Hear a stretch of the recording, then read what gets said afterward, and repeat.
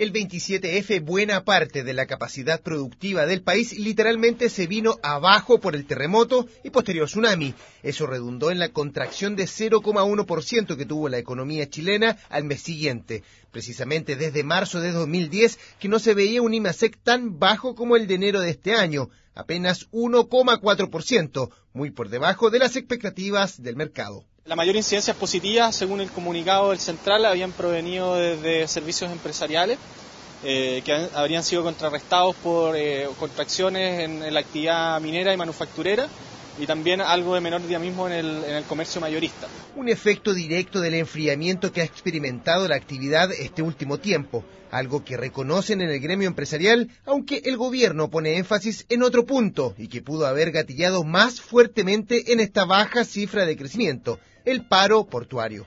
Sin duda esto confirma la desaceleración que, tiene la economía. No nos olvidemos también que en el mes de enero estuvo el paro de los puertos y pienso que eso debe también haber tenido algún efecto significativo en las cifras que estamos conociendo. Tenemos una caída en exportaciones en valor durante el mes de enero de más de 18%.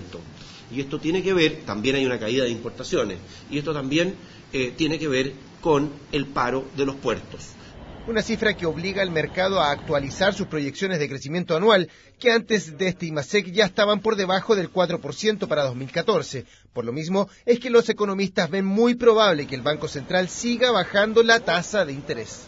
Creemos que eh, que existe espacio para rebajas adicionales. De hecho, estamos proyectando que en la reunión del 13 de marzo se haga un, recorte de 25 puntos base para dejar la tasa en 4%.